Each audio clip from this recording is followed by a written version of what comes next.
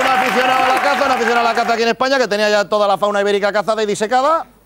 Y dice, me falta el oso, pero este verano me voy a Asturias y me saco la muela. Venga, por ello. Dice, voy a contratar un furtivo que me lleve a un sitio y lo mato bien allí. Venga, fenomenal. Llega a Asturias, dice, necesito un furtivo que me oriente, que me lo ponga lo que es prácticamente a huevo.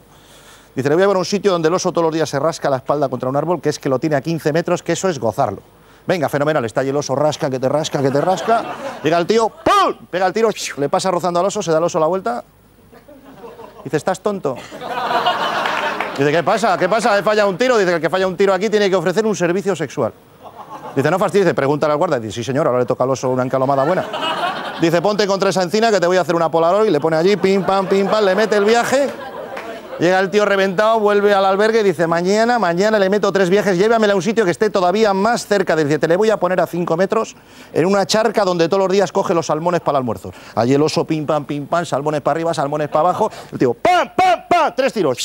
Se da la vuelta al oso. Dice, eres el de ayer.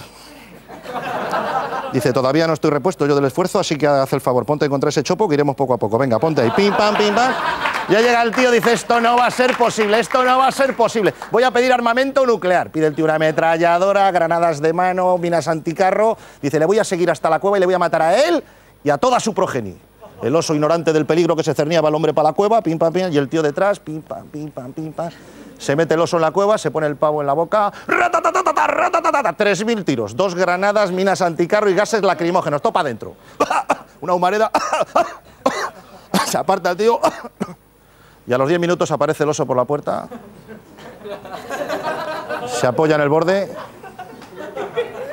Dice, a ver si es que no vienes a cazar.